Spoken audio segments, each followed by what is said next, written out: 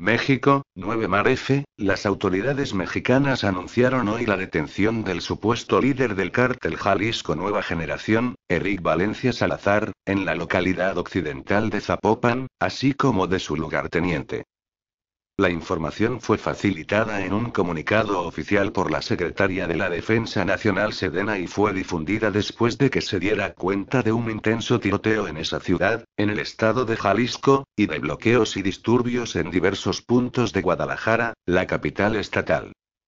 El comunicado no da cuenta de la identidad del supuesto lugarteniente detenido junto a Valencia Salazar, pero asegura que se trata del segundo en importancia en dicho cártel. Esta organización criminal surgió a raíz de las divisiones entre diversas estructuras de tráfico de drogas tras la muerte en 2010 de Ignacio Coronel, alias Macho Coronel, uno de los líderes del poderoso cártel de Sinaloa.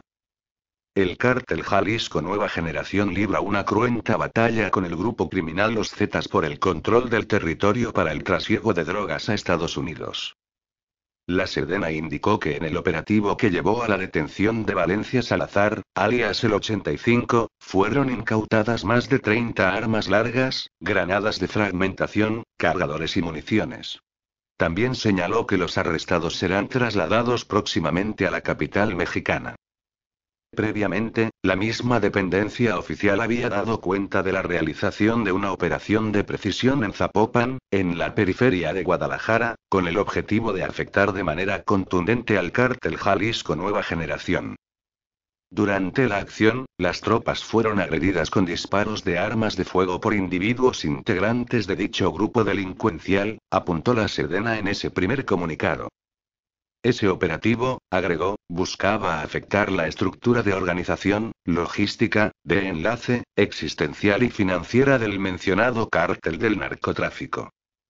La operación militar se produjo en medio de varios bloqueos viales y disturbios registrados en Guadalajara y municipios aledaños en los que perecieron tres personas, según fuentes de seguridad municipales.